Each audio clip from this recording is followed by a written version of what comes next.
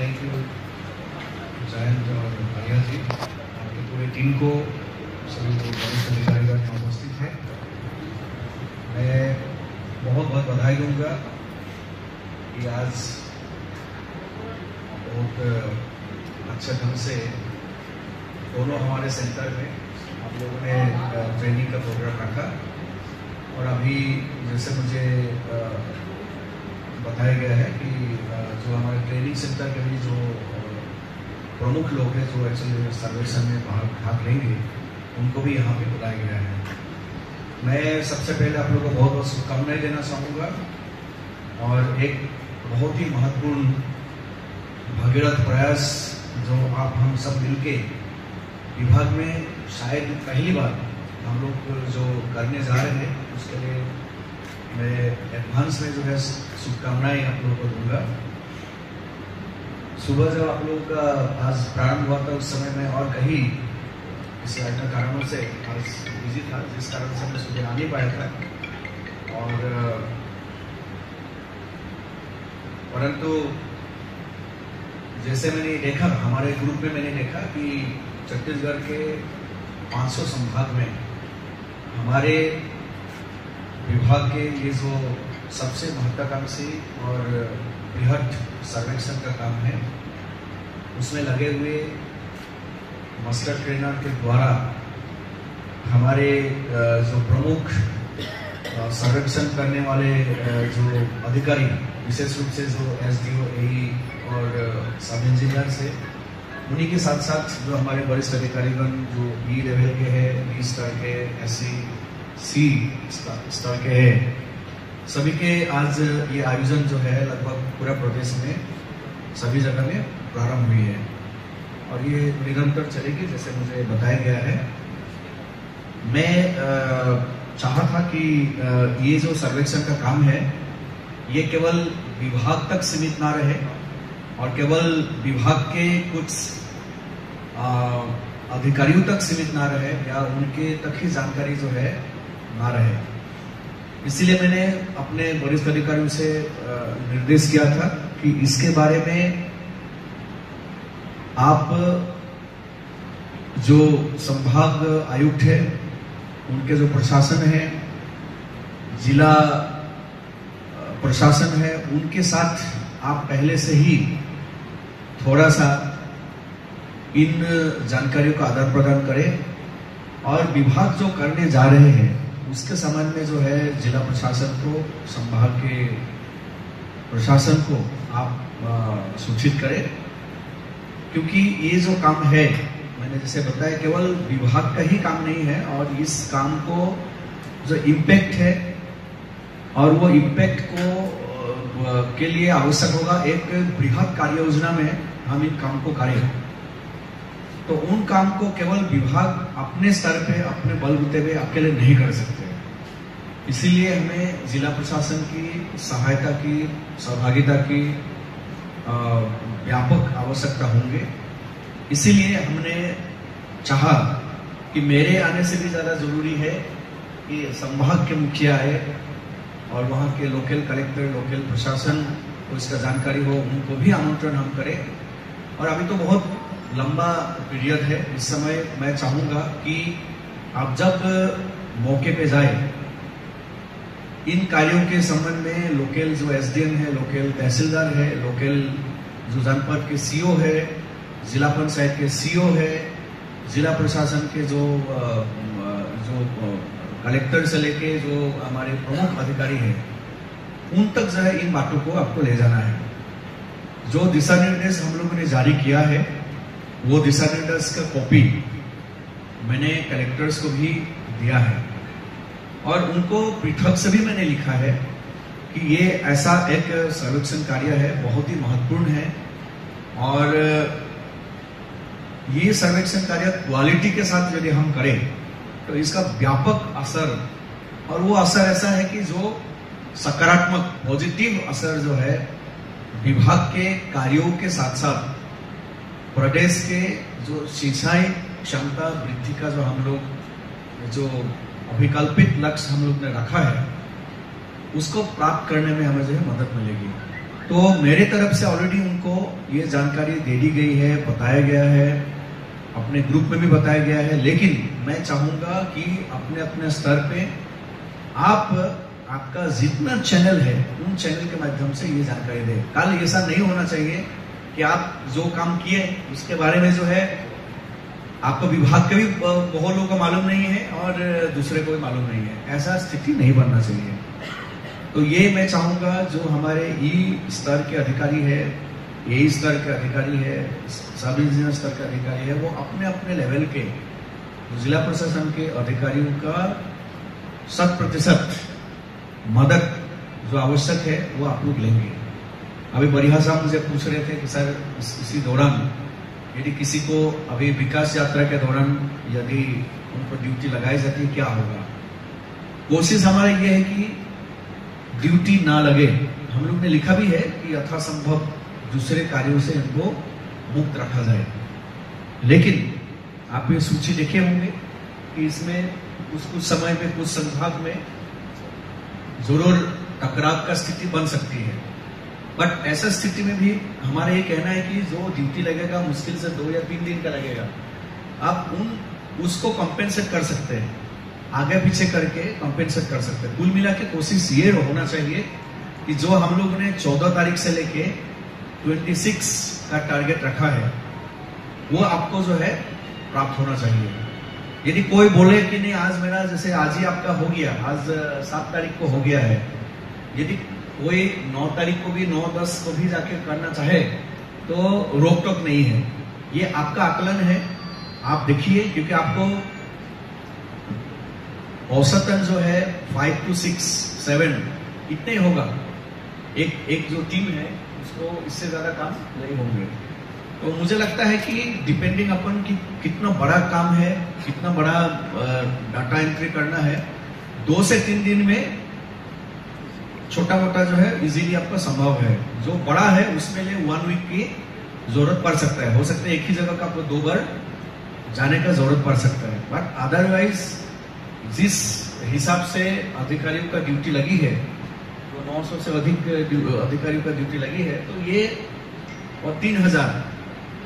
तो ये देखा जाए, एक दिन का भी हो सकते तो तीन दिन में एक्चुअली कंप्लीट होना चाहिए। हमने बहुत लंबा पीरियड रखा है, चौदह से लेकर ट्वेंटी सिक्स सो डेट ये किसी को एक्सक्यूज ना रहे कि हमने बहुत जल्दीबाजी में किया और गलत आंकड़े हमने जो है वहाँ पे लगा दिया। तो मेरा अनुरोध है कि आपके लिए पर्याप्त समय है। लगभग दो हफ़्ते का हम लोग इसमें समय रखा है सर्वेक्षण का और जितने काम हर अधिकारी को मिल रही है, उस हिसाब से इतना बड़ा नहीं है। एक एक चीज़ तो आप देखिए, जो अपलोड पहले से कुछ कुछ करना है, वो ऑलरेडी अपना टीम ने करके रखी हुई है। आपको केवल उसको जो बहुत सारे डाटा जो है आपके पास ऑलरेडी आपके रजिस्टर में या उसमें है, केवल आपको उसको अपडेटेड जानकारी को उसमें डालना है।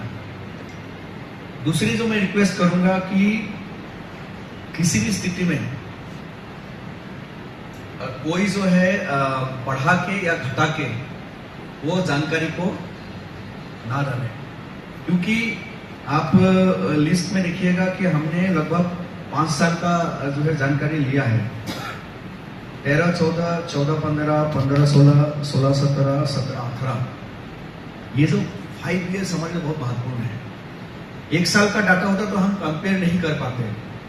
अब लगातार यदि फाइव ईयर्स का हम डाटा ले रहे हैं तो इसमें सूखा वाला स्थिति को भी हमने ले लिया है। जो आपका पंद्रह में सूखा पड़ा था तो उसका इम्पैक्ट जो है सोलह सत्रह में देखने को मिली होगी। और जैसे लास्ट ईयर सूखा था तो इस साल थोड़ा बहुत देखने को मिलेगी। वो रिफ्लेक्ट करेगा आपका खरीफ में भी और थोड़ा बहुत रबी में भी। पाँच साल का लेने से क्या होता है एक औसत हमारा निकल के आता है कि एक्चुअली उस सिंचाई जलाशय से या उस एनिकेट से या उस लिफ्ट इरिगेशन से आ, या जो हम सिंचाई का जो सुविधा मुहैया कराते हैं। पिछले पाँच साल में कौन सा ईयर है, सब अधिकतम हुआ होगा? कौन सा ईयर है, सबसे कम हुआ होगा? उसका कारण भी होगा और एक औसत भी निकल के आते हैं। हमारा मकसद इसको जो है आगे जोड़ने का ये है कि इम्पैक्ट हम कैसे लगाएँगे। इन आंकड़ों को आप मान के चलिए, जैसे अभी आप मई जून में जो रिपेयर करेंगे आवश्यकता अनुसार इसका असर तुरंत तो नहीं दिखेगा, उसके बाद पानी भरेगा। पानी भरने के बाद आप कोशिश करेंगे कि अधिक से अधिक इन सिंचाई संरचना से जो है हम पानी मुहैया करें खरीफ के समय। मान लीजिए बारिश कैसा होगा, नहीं होगा, वो तो आगे की बात है। बारिश ठीक है, उसके बाद भी आप जैसे खरीफ के लिए देते ही है तो पता लग जाएगा कि इस बार आपका टारगेट के हिसाब से आपने कितना दिया। ये जो फाइव इयर्स का आकलन है और इस समय का जो वास्तविक आकलन है, उसको जो है इस साल का, अठारह उन्नीस का जो आपका खरीफ में या रबी में जो आप पानी देंगे, उसके साथ तुलना हम लोग बाद में कर सकते हैं। तो इसीलिए मेरा ये कहना है कि इसको बढ़ाना, घटाना जैसे जो है काम हम ना करें, क्योंकि सही इम्पैक्ट हमें आकलन नहीं कर पाएँगे। मुझे ये भी बताते हैं कि जैसे बहुत सारे इस तरह का इंडिकेट होंगे जहाँ पे पानी लबालब भरा हुआ है। लेकिन केवल पानी भरा हुआ है, दोनों किनारे जो समृद्ध या जो संपन्न या जो व्यवस्था कर सकते हैं, जिन्होंने पंप लगा लिया, उनको पंप मिल गया और उन्होंने सिंचाई करा लिया। लेकिन पूरे गाँव को तो उस एनिकट से मिलता नहीं है।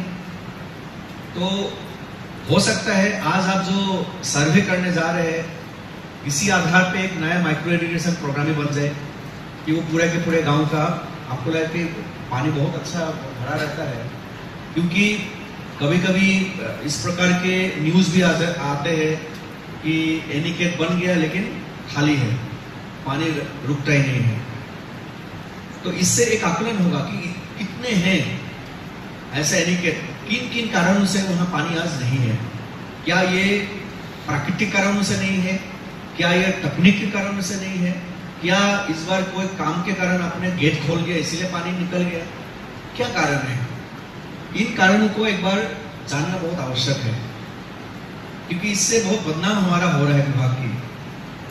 क्योंकि बहुत ही सामान्य तौर पे कभी कभी लोग जो है टिप्पणी कर देते हैं कि ये जो बनाते हैं, कोई काम का नहीं है। जबकि मैं ये मानता हूँ, ऐसी बात नहीं है जिस मेहनत के साथ जितना स्ट्रक्चर बनाए हैं, अधिकांश से बहुत फ़ायदा हो रहे हैं। लेकिन इसको क्या और बढ़ा सकते हैं? मुझे अभी किसी अधिकारी ने बीच में बताया कि पानी पूरा भरा हुआ है, लेकिन उसको ले जाने के लिए जो कनाल आपको बनाना है, वो उसके लिए लोग तैयार नहीं है। तो हो सकता है आज आप जब सर्वेक्षण करें, ये निकल के आपका सुझाव में आ जाए कि नहीं, इसको भूअर्जन का ज़रूरत नहीं है, हम जो है पाइप से ही वो पानी को ले जाके कहीं और ले जाए, जहाँ से 40 हेक्टेयर 100 हेक्टेयर 200 हेक्टेयर लोगों को हम सिंचाई सुविधा दे सकते हैं। क्योंकि जितना आपका एनिकेट बड़ा जागरूक किसान है तो उन लोगों का मांग था कि यहाँ पे यदि पानी रोकने का व्यवस्था हो जाए तो हमें वो पानी से अच्छे अच्छा जो है सब्ज़ी भाजी खेती का हो सकता है। तो ये केवल धान की बात नहीं है। आप जो नकदी फ़सल है, उसके लिए भी व्यापक कार्य योजना इन सर्वेक्षण से आप बना सकते हैं। तो मैं चाहूँगा जब इसको आप करें, बिल्कुल मैकेनिकल तौर पे ना करें जो अभी फ़ोटो लेने की जो बात हो रही है, हम लोगों ने कहा कि फोर टू फाइव फ़ोटो लगाना है। और उसका कारण ये था, क्योंकि नहीं तो हमारा एक प्रवृत्ति होता है कि हम सीधा सामने का फ़ोटो लेके दिखा देते हैं। उससे कुछ पता नहीं लगेगा। इन फ़ोटो को आप अलग अलग तरीके से अलग अलग लोकेशन से लीजिए।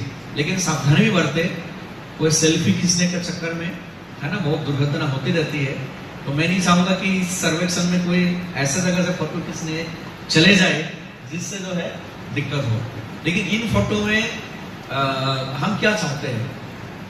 आप जब मुआयना करेंगे आपको लगेगा कि गेट खराब है फॉर एग्ज़ाम्पल तो आप उनका फ़ोटो लेंगे ना अल्टीमेटली वो हमारे लिए ज़रूरी है कि आज आप जब गए थे गेट यदि खराब है यदि सीपेज हो रहा है तो उसका फ़ोटो मेरे लिए ज़्यादा ज़रूरी है। ठीक है? मतलब ये ये कोई पर्सनल पिकनिक विज़िट वाला फोटोग्राफ लगाने की नहीं है। इसमें उन ज़रूरत, ज़रूरी जो फोटोग्राफ्स है।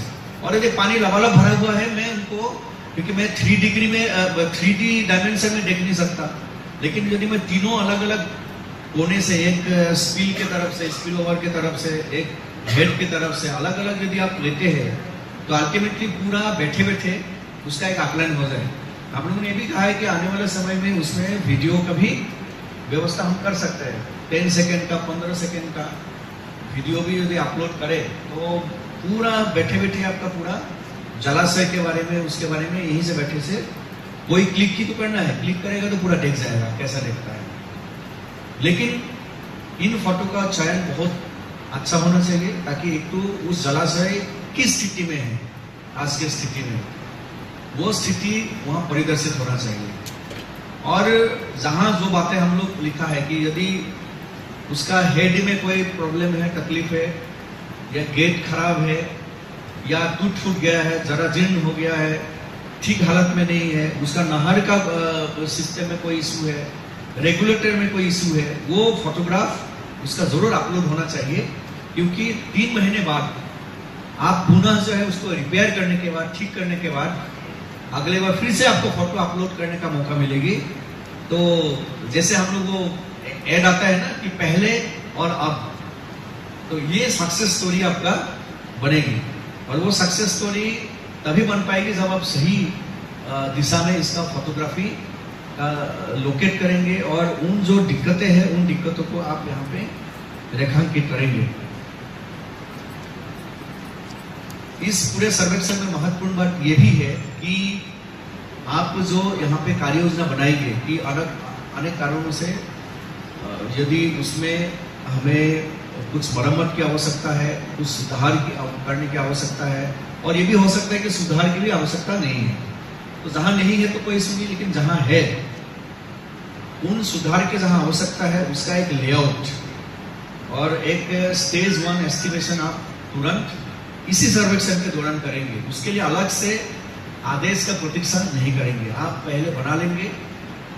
जैसे आप लोग टीएस के लिए बनाते हैं, बिल्कुल इसी टाइप से बना लेंगे। मरम्मत का पूरा अधिकार आई थिंक ई लेवल पे ही है तो आपको वरिष्ठ अधिकारी स्तर तक जाने का भी आवश्यकता नहीं है।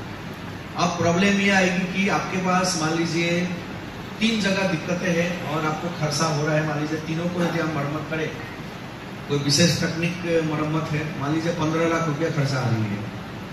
आपका ऑलरेडी बुक किए हुए दूसरा कुछ और चीज़ें है और आपके पास इतना नहीं है जो पंद्रह लाख आप पूरा पूरा खर्चा कर पाते हैं। मान लीजिए आपके पास दस लाख अवेलेबल है तो दस लाख रुपया से आप उसको मरम्मत करने के बाद हो सकता है साल भर में और ज़रूरत पड़े आपको। वो आकलन आपको करना होगा। और यदि आपको लगता है कि नहीं, दस लाख हम उपलब्ध विभागीय बजट से करा सकते हैं, पाँच लाख का प्रॉब्लम आएगी। वो लिस्टिंग कर लीजिए कि ये पाँच काम हमें करना है और उन कार्यों को जिला प्रशासन के साथ, सीओ जिला पंचायत के साथ, कलेक्टर साहब के साथ बैठ के आप डिस्कस कर सकते हैं और वो प्रायोरिटाइज करेंगे। वो बोलेंगे कि ठीक है, दो जो है हम डीएमएफ या एक हम डीएमएफ से कर देते हैं। ऐसा कार्यों का ऐसा नेचर है, जैसे केवल खुदाई करने से हो जाता है, वो हो सकता है गहरीकरण के लिए। वो कुछ मनरेगा से करके, कुछ और बहुत सारे डिस्ट्रिक्ट है जो एस्पिरेशनल डिस्ट्रिक्ट है। उसमें भी देखिएगा कि उनको अलग से फंड मिलता है। नक्सल प्रभावित क्षेत्र के लिए भी अलग से फंड कलेक्टर के पास होते हैं। तो कुल मिला के आपका कार्य योजना तैयार होना चाहिए। कार्य योजना यदि तैयार है इसी महीने, आप जिला प्रशासन से अनुमति लेके जून में और या इसी महीने, मई और जून में या वर्षा होने तक आप उस काम को अंजाम दे सकते हैं। ये आपको आकलन करना होगा कि क्या हम वर्षा बरसात शुरू होने से पहले इसको कंप्लीट कर सकेंगे कि नहीं सकेंगे। बहुत सारे ऐसे काम होगा जो पंद्रह दिन का रिपेयर में हो सकता है। पंद्रह दिन में, बीस दिन में आपको हो सकता है। उन कार्य को करिए। लेकिन ये कोई केवल रिपेयर करने के नाम से ये कोई सर्वेक्षण नहीं है। इसीलिए ये भी हम दिमाग में ना रखें कि जो भी राशि है इस बार तो इसी में ही स्वाहा करना है। तो आपको सबसे पहले देखना है कि सुदृढ़ीकरण कैसे हम उस प्रकल्प को करें, उस योजना को कैसे हम सुदृढ़ीकरण कर सके। और जिससे आज यदि आप दो लाख रुपया किसी काम में खर्चा कर रहे हैं तो जिससे बीस लाख रुपये का भले वो नगद राशि के रूप में आपको लोगों को मिले ना मिले, लेकिन पानी मिले, सिंचाई का साधन मिले, उनका खेती किसानी का लिए जो है, अधिक समय के लिए उनको पानी मिले और उनका आमदनी जो दुगनी करने की जो बात करते हैं, वो हो। ऐसा इंपैक्ट उस दो लाख रुपया से देखना चाहिए। कुल मिला के जो भी खर्च आप करें, उसका टेन टाइम्स फ़ायदा जो है, होना चाहिए। और कुछ ऐसा बुनियादी आवश्यकता होता है जो तो करना ही आपको। तो वो यदि इस समय संभव नहीं होता है, लेकिन फिर भी आपको उसका टीएस के लिए तकनीकी उसका प्राकलन वगैरह बना के रखना चाहिए। सो so आपके पास एक रेडीमेड इस सर्वर सेक्शन के बाद एक कार्य योजना होना चाहिए। इस बार सबसे अच्छी बात यह है कि छत्तीसगढ़ शासन ने आपके हमारे विभाग को मरम्मत एआर के लिए, जो रख रखाव के लिए इस बार सबसे अधिक प्रावधान इस साल किया है। और, परंतु ये राशि का दुरुपयोग नहीं होना चाहिए। क्योंकि बहुत शिकायतें मिलती रहती है कि किसी फलाना संभाग ने जो है बहुत सारे स्वागत द्वार बना डाला। ठीक है, आप बताइए स्वागत द्वार इतने सारे ज़रूरत है क्या हमें? सब कुछ हो जाए, मरम्मत हो जाए साफ़ सुथरा रहे, व्यवस्था हो जाए, सुदृढ़ीकरण हो जाए, उसके बाद स्वागत द्वार, स्वागत किसको करेंगे? यदि आपका वही टूटा फूटा पड़ा हुआ है, पानी ही नहीं है तो किसको स्वागत करेंगे आप? तो मेरा रिक्वेस्ट है कि आप लोग बहुत जिम्मेदार अधिकारी है ये सब ना बोलना सीखे। जो चीज़ दो दिन आगे तक हम पोस्टपोन कर सकते हैं, उन कार्यों को जो है बिल्कुल निरुत्साहित करें। ये जो राशि है, बहुत बहुत मेहनत के साथ वित्त विभाग से स्वीकृति लेके हम लोग ने लाया है। तो ये इस बार एक बृहद अभियान हो कि हमारे जितने स्ट्रक्चर्स है ये जो लगभग तीन हज़ार मैंने देखा अभी। लगभग तीन हज़ार जिसमें आपका सोलह सौ पंचानबे जो है जलाशय है व्यपवर्तन जो है 585 है एनिकेट 589 है लिफ्ट इरिगेशन प्रोजेक्ट लगभग 80 है, इस प्रकार टोटल 2949 जो लगभग तीन हज़ार, ये जो हमारे स्ट्रक्चर है जिसमें हम लोग बृहद को आँख नहीं लिया है और मध्यम को भी नहीं लिया है। लेकिन इनको यदि हम सुदृढ़ीकरण नहीं कर पाएँगे तो क्या मतलब है? इतने राशि जो है, केवल किन कार्यों में हम खर्चा करते हैं, उसका एक बार आकलन करना बहुत ज़रूरी है।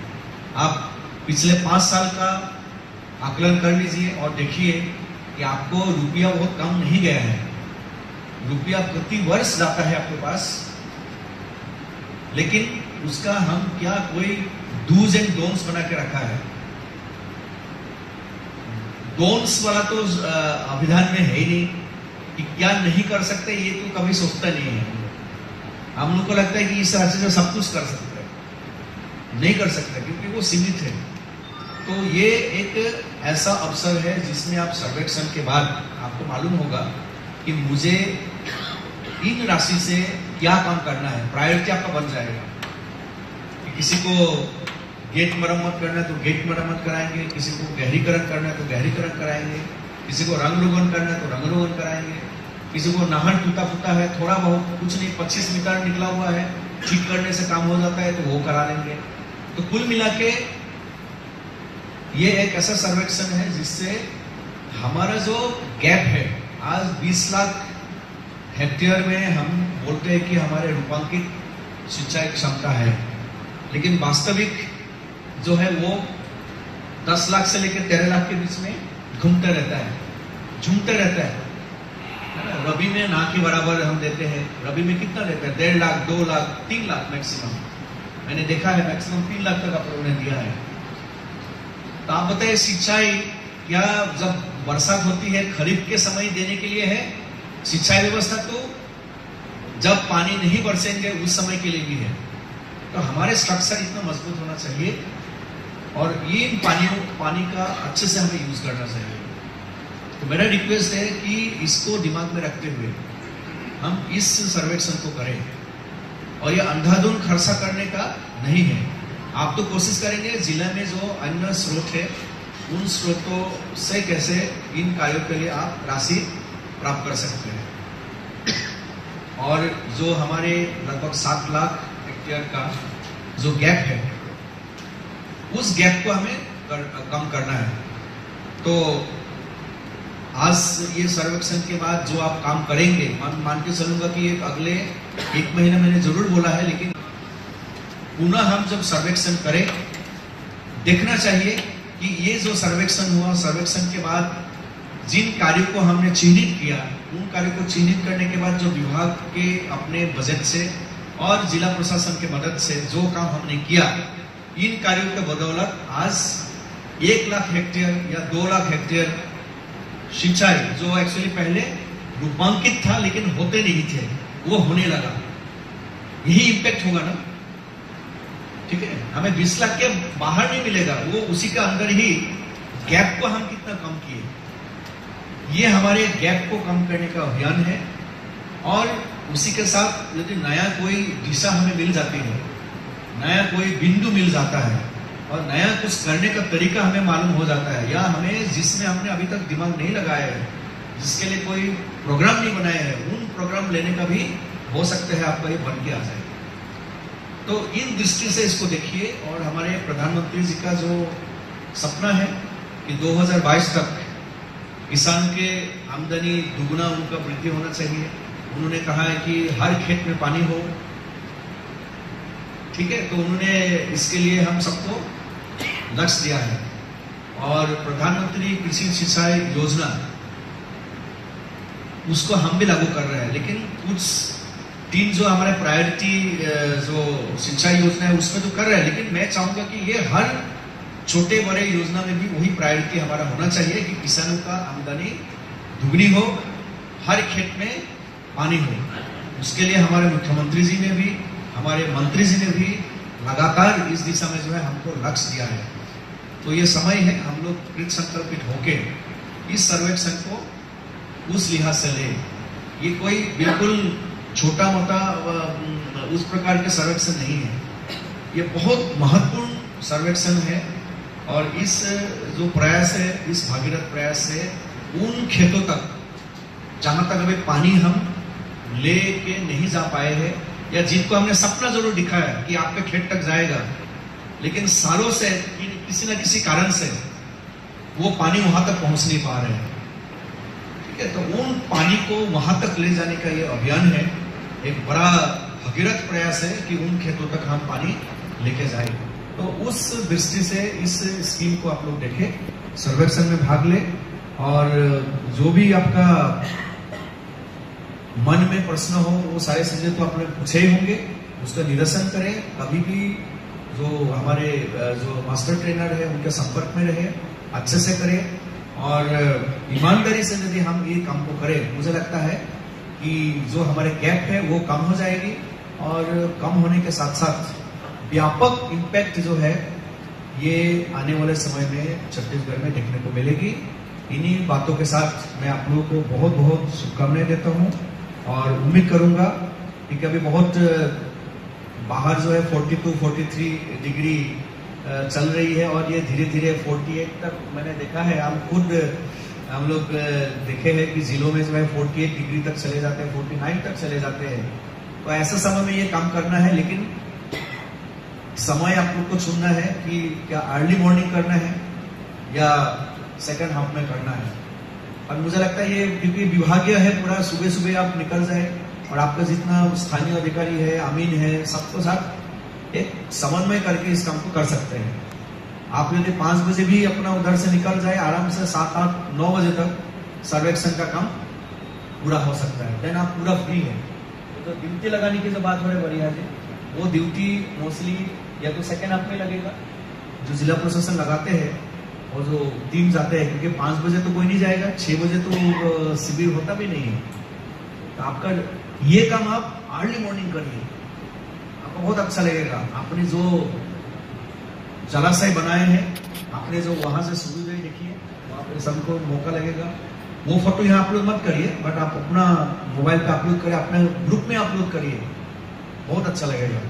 है ना? कि आज हमने वहीं पे फ्लक्स में चाय लेके गया वहीं पे बैठे, वहीं पे पिए, वहीं नाश्ता किया, है ना? सर्वेक्षण भी किया। और आराम से छह बजे से बढ़िया वो धूप तो रहता ही है, आराम से।